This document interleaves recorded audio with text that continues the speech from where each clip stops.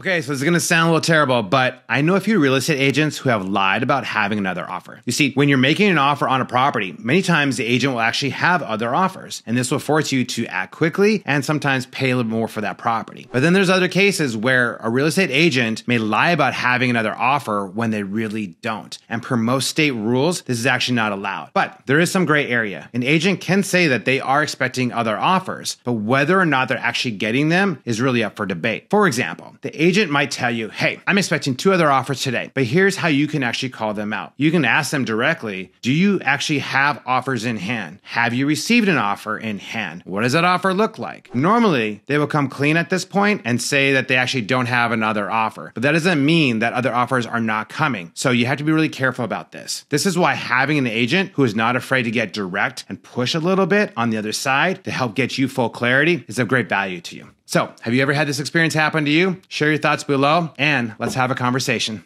Thanks.